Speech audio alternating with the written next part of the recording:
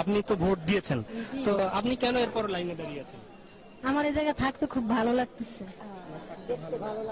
আপনারা তো আপনিও ভোট দিয়েছেন। তো এরপরও কেন এই লাইনে আছেন? এই থাকতে মনে করেন খুশিতে ঠেলায় এই কথাগুলোর আবির্ভাব বেশ কয়েক বছর আগে হলেও সাম্প্রতিক সময়ে তা ব্যাপকভাবে ছড়িয়ে পড়ে সামাজিক মাধ্যমে আপলোড হওয়া একটি ভিডিও ভাইরাল হওয়ার পর। দুই বোন, আরশিয়া সিদ্দিকার রোদসী ও আসনা সিদ্দিকার শখের বসে বানানো ভিডিও যে এতটা জনপ্রিয়তা পাবে তা তারা চিন্তাও করেননি। একটি বেসরকারি টেলিভিশন চ্যানেলের রিপোর্টের একটি অংশকে ব্যঙ্গাত্মকভাবে পুনরায় নির্মাণ করে চীনা মিউজিক্যাল ডাবিং অ্যাপ টিকটকে আপলোড করার পর রাতারাতি তা ছড়িয়ে পড়ে বাংলাদেশের ফেসবুক ব্যবহারকারীদের মধ্যে। যে অ্যাপ দিয়ে দুই বোন শখের বসে ভিডিওটি বানিয়েছিলেন, সেই অ্যাপটির নাম টিকটক, যা খুব দ্রুতই অতি জনপ্রিয় হয়ে উঠেছে সারা বিশ্বে।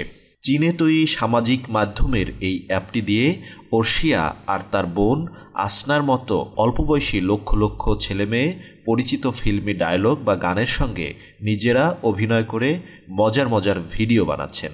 তবে পনেরো সেকেন্ডের থেকে বড় ভিডিও বানানো যায় না এই অ্যাপে। আর নিজের স্বর ব্যবহার করতে পারবেন না, যাকে বলা হয় লিপসিঙ্ক অর্থাৎ ঠোঁট নাড়া। দু হাজার ষোলো সালে টিকটকের যাত্রা শুরু হয়েছিল, আর দু বছরের মধ্যেই এর জনপ্রিয়তা হুহু করে বেড়ে যায়। দু হাজার অক্টোবরে আমেরিকায় সবথেকে বেশি ডাউনলোড করা অ্যাপ ছিল এই টিকটক।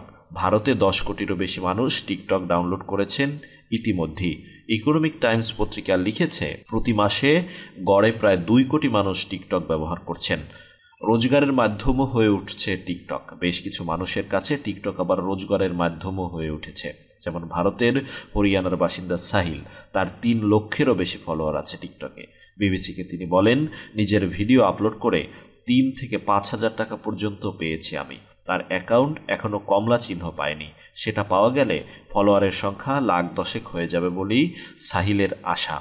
ফেসবুক বা টুইটারে ভেরিফাইড অ্যাকাউন্টগুলিতে যেমন নীল টিক চিহ্ন দেয়া থাকে টিকটকের ক্ষেত্রে ভেরিফাইড অ্যাকাউন্টগুলিতে কমলা চিহ্ন দেওয়া হয়। তবে টিকটকের সব কিছুই যে ভালো, কোনো মন্দ দিক নেই তেমনটি নয়। যদিও ১৩ বছরের বেশি বয়সীদেরই এই অ্যাপ ব্যবহার করার কথা, কিন্তু অনেকের ক্ষেত্রেই দেখা গেছে, তেরোর থেকে কম বয়সীরও টিকটক ব্যবহার করছে এবং তাদের সংখ্যাটা বেশ বড়। প্রাইভেসিরও একটা সমস্যা আছে এই অ্যাপে। মাত্র দুই ধরনের প্রাইভেসি সেটিং আছে অনলি আর পাবলিক অর্থাৎ আপনার বানানো ভিডিও হয় শুধু আপনি দেখতে পাবেন অথবা তা অ্যাপ ব্যবহারকারীরা সবাই দেখতে পাবে। মাঝামাঝি কোনো জায়গা নেই। এই অ্যাপটির মাধ্যমে যে কেউ আপনাকে ফলো করতে বা মেসেজ করতে পারে। অসামাজিক মনোবৃত্তির মানুষরা তাই সহজেই কম বয়সী ব্যবহারকারী, বিশেষ করে ছোট মেয়েদের প্রলোভন দেখাতে পারে। যে অ্যাপ হাস্য কৌতুকের জন্য ব্যবহার করছেন, তা যেন কোনো বড় বিপদে ডেকে না আসে, এজন্য বিশেষজ্ঞরা সতর্ক করেছেন।